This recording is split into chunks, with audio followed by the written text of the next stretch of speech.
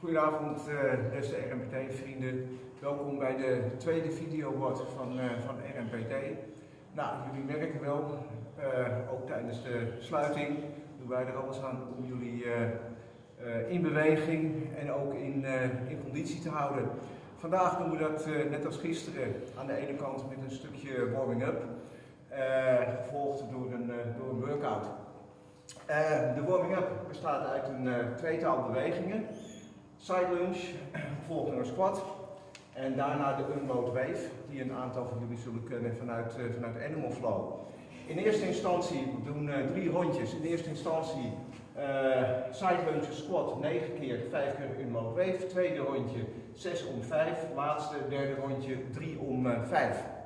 Ik laat eerst even de side lunges zien. Je staat, als je een matje hebt, eventueel sta je op je, op je matje, Uh, in eerste instantie, hop, je stapt uit naar links, beeld naar achteren, rechterbeen is gestrekt, stap terug, rechterbeen uitstappen, linkerbeen is nu gestrekt, je stapt terug, squatpositie, hop, heupen onder de knieën. Dus snel, op deze manier, 1, 2 en 3. Eén squat naar links, of uh, één lunge naar links, 1 naar rechts en een squat is één beweging. Vervolgens de unload wave. Wave. Startpositie is op je, is op je knieën. Zo. Vervolgens plaats je je handen een centimeter of uh, eh, 15 naar voren. Uh, tenen staan in de grond. Knieën ongeveer 2,5 centimeter boven de, boven de vloer. En je beweegt je billen naar achteren, hoofd tussen je armen. Zo op deze wijze. Alsof ik mijn, mijn hoofd en mijn borst op de grond wil drukken. Vervolgens beweeg ik mijn billen naar boven. Hoofd blijft heel goed tussen mijn armen.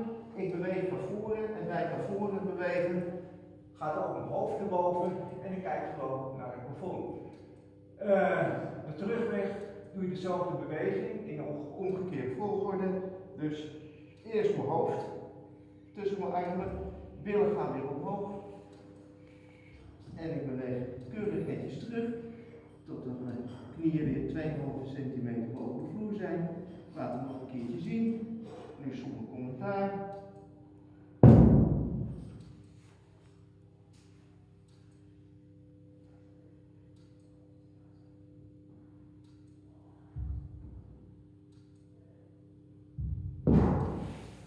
Gaan we over naar de daadwerkelijke workout. Daar, voor de workout vier rondjes van de volgende bewegingen. Ga ze even voordoen. Je begint met 25 jumping jacks. Jumping jacks heel simpel, voeten op heupbreedte. 25 keer. Vervolgens ga je liggen. Voeten strek je uit. Onderarmen op de vloer van het matje. Handen in je heupen en je beweegt je heupen boven. Je probeert dit zoveel als mogelijk in één lijn te houden. Even naar beneden aantikken, weer naar boven. Boven hou je even vast en je tikt heel eventjes aan. 15 keer links, 15 keer rechts. Vervolgens gaan we naar de power and fly sit-ups. Uh, daar heb je twee hulpmiddeltjes bij nodig. Wellicht heb je thuis wat uh, die kun je mooi gebruiken. Anders, je kunt altijd twee bidonnetjes met water vullen. Of je pakt twee pakken melk of yoghurt of uh, wat er dan maar voorhanden is. Je gaat liggen. Zo, voeten zijn een stukje van de grond. En je hebt je handen alsof je een dumbbell fly gaat maken. En je maakt deze beweging.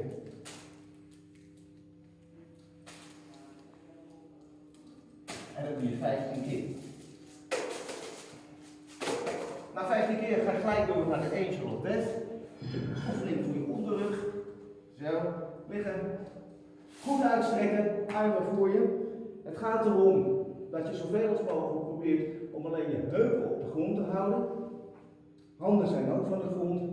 En je beweegt langzaam naar achteren. Handen boven de billen. Nou, die zijn al aangespannen. Anders kun je deze positie niet volhouden.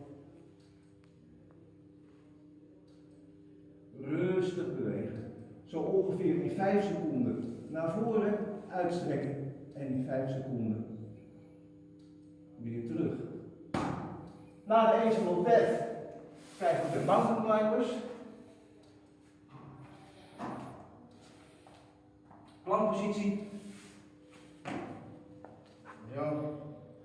Benen en uh, rug zijn uh, ongeveer in één lijn. Je staat op je handen en je maakt keurig netjes deze beweging.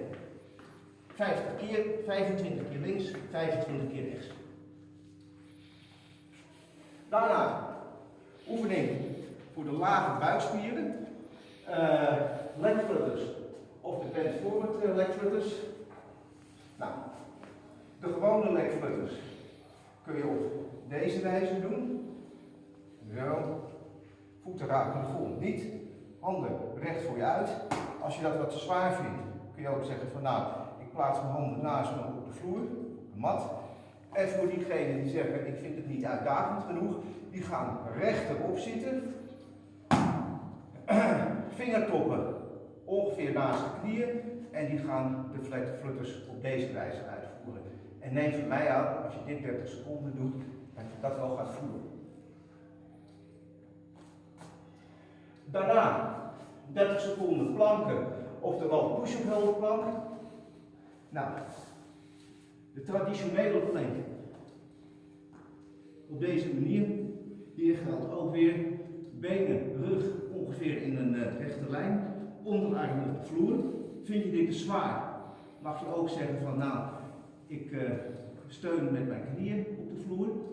En voor de mensen die iets uitdagender zoeken, die kunnen ook zeggen, ik ga naar een push-up plank. Zo. Push-up is eigenlijk uh, het uitgangspunt. Hup, zakken. Alleen je zorgt er wel voor dat gedurende 30 seconden je borst de grond niet raakt. Als je dit iets, iets makkelijker wilt uitvoeren, kan, dan zorg je er wel voor dat je borst boven de grond blijft. Alleen steun je dan wel op je knieën. En dan sluiten we af met de laatste oefening. Ook weer voor de buikspieren. 30 seconden hollow hold. Of iets minder zwaar, de boot hold. Zo, de hollow hold. Deze positie. En je zorgt er eigenlijk voor dat alleen de onderrug nog in contact is met de vloer. Als je dit wat al te zwaar vindt, dan kun je altijd nog overgaan bij de boothold. En de boothold mag je op deze wijze uitvoeren. Of, als je het wat zwaar vindt, mag je ook zeggen. ik, plaats mijn, ik plaats mijn handen, die plaats ik naast mijn heupen. Maar ik zorg er wel voor dat mijn voeten van de vloer blijven. Nog een uh, laatste opmerking. Rocher heeft het gisteren ook al gezegd, ik zeg het ook een keer. Zeker als er oefeningen zijn waarbij het niet gaat om de hoeveelheid herhalingen, maar het gaat om uh, uh, hoeveelheid seconden, dus om tijd. Download eventjes uh, de app timer, de smartwatch. Hartstikke handig appje, dat kun je keurig netjes voor jezelf bijhouden. Ik wens jullie ontzettend veel plezier en heel veel succes. Ik hoop jullie heel gauw weer op de gym te zien. Maar uh, zolang dat niet kan, zullen jullie regelmatig blijven tracteren op dit soort, op dit soort workouts. Succes!